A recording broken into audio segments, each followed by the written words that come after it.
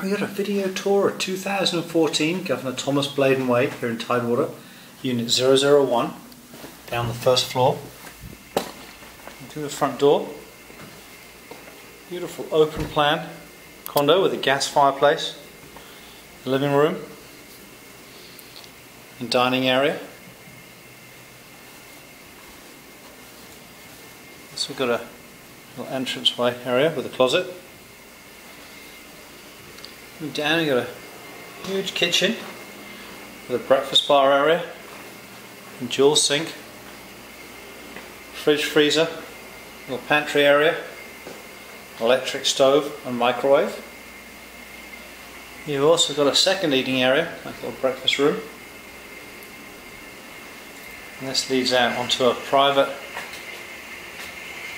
patio area. You can see some this leads directly out into the common grounds. Fantastic woodlands and grass area.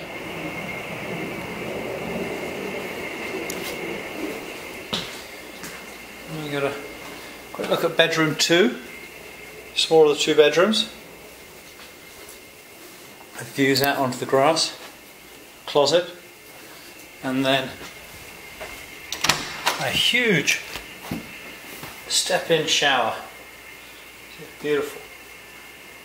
Large shower, separate vanity, living closet. You go back through the living room with a uh, gas fireplace.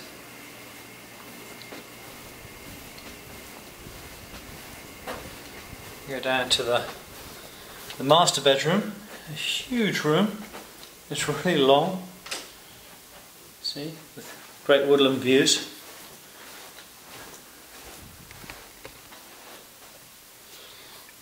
It's got a, a large walk-in closet. Some shelving.